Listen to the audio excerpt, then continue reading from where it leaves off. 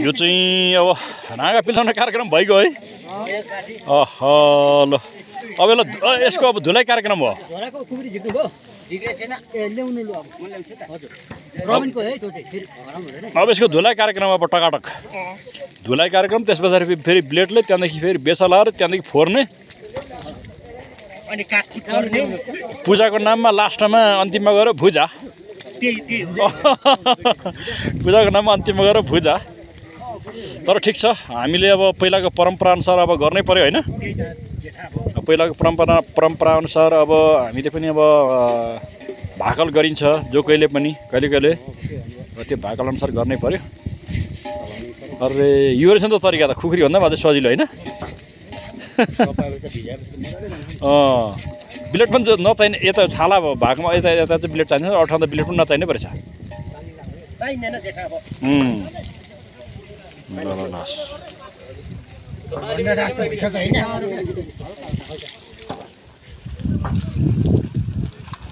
भर्नागी भर्नागी भन्ने हाम्रो चलन छ भर्नागी भन्ने चलन छ। यो के देवी हो खासमा चाहिँ?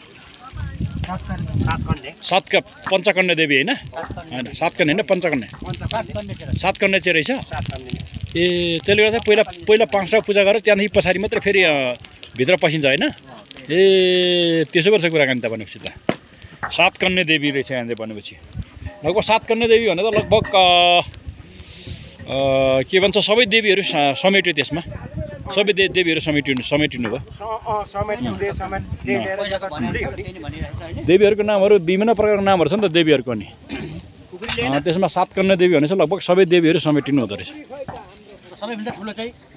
अँ, हाम्रो क्षेत्रको लागि चाहिँ अब यही नै मानियो।